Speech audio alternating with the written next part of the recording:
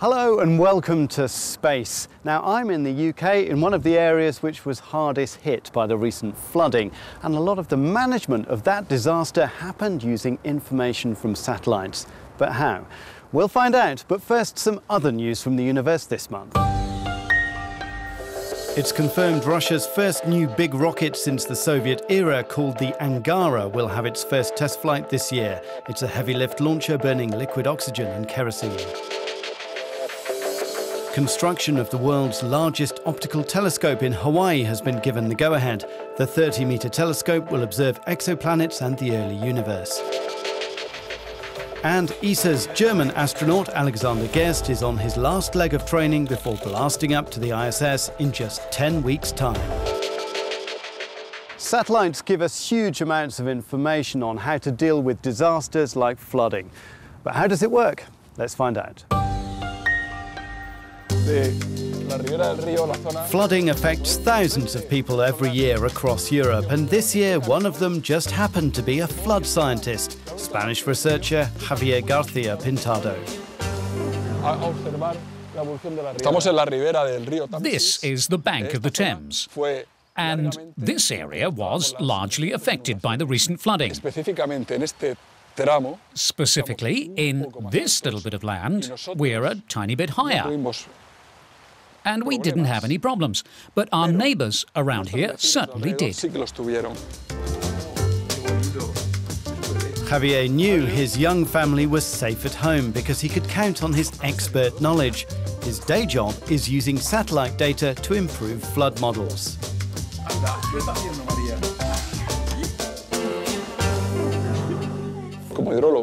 Como as hydrologists, we were pretty confident that this property wouldn't have a problem, and we told our neighbours.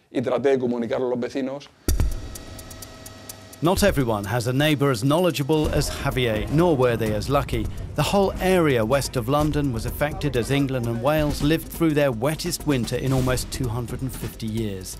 Across England, 6,500 homes were flooded. The British government looked to space for help. Satellite images showed the extent of the disaster. However, those images weren't available quickly. In fact, they took around 30 hours to be processed. Javier and his colleague David Mason at the University of Reading can use that data for post-flood analysis.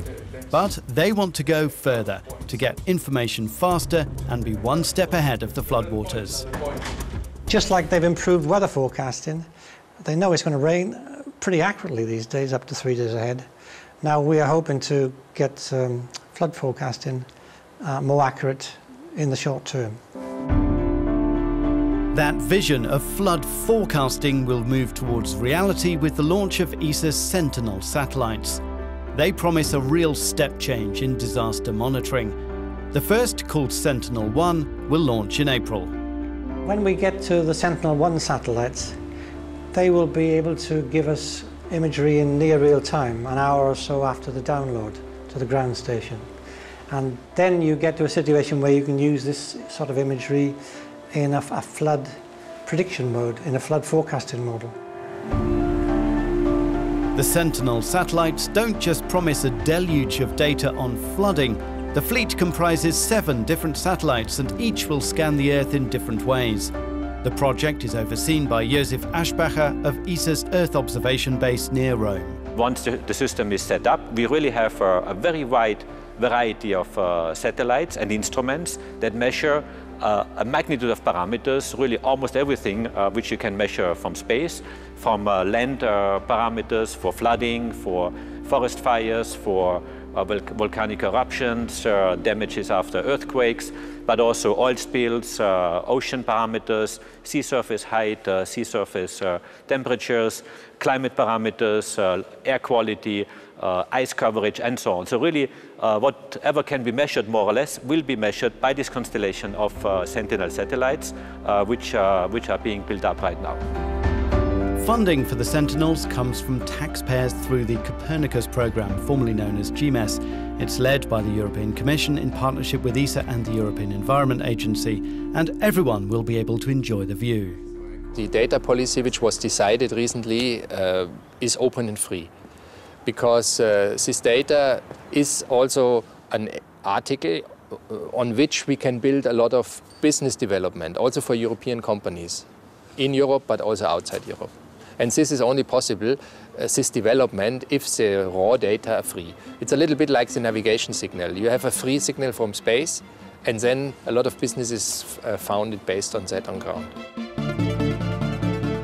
The Copernicus program is already up and running, but will expand greatly in the next two years as the Sentinels launch and begin offering many terabytes of data per day.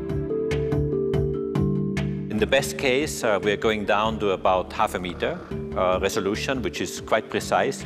Uh, then you go to a range of about five meters resolution where you measure different parameters, typically agricultural uh, information, agricultural fields, uh, yield predictions.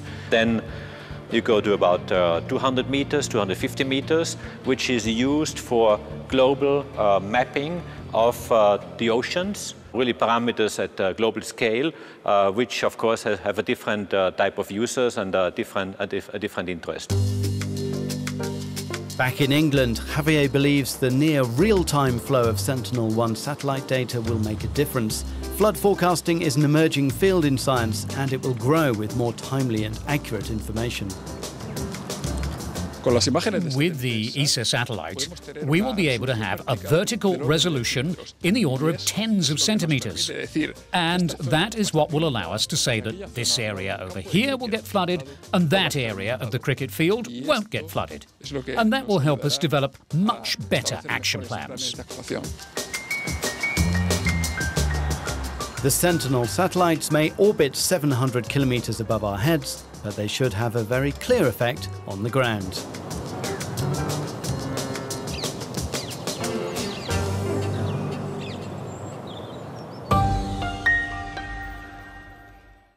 All year, we're following the team behind the Rosetta mission as they hunt down a comet.